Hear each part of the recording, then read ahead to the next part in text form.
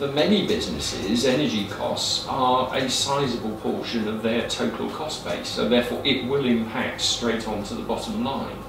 Now, what needs to happen, again, is all players in the market have got to actually make this a straightforward process. They can glean information, they can get what they require, they can understand why, um, you know, this is what I'm currently doing. Again, it shouldn't be based just on price though, it should be based on my total energy usage, so my total cost. One thing I would just bring out of the, the survey, and actually for me more shocking than actually the, the, the, the statistics saying that engagement is decreasing across the board, is that the dominant, dominant reasons for not engaging are one, it's not a priority, and two, that it's too much hassle.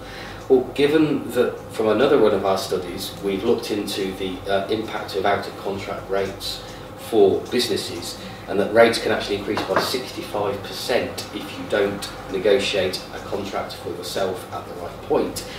That has to be a priority for business.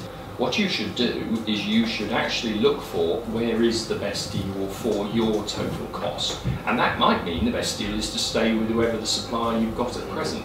But you must engage.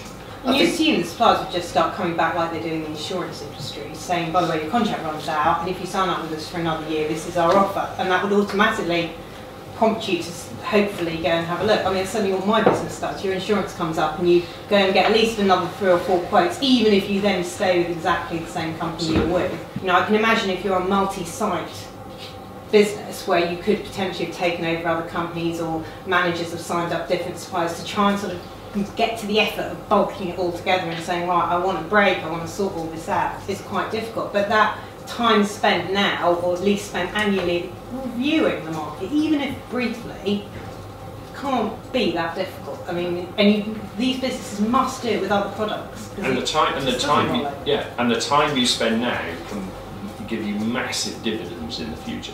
Huge, huge cost differences. Mm. And it is not small amounts of money we're talking about here. It can really save people a lot of money.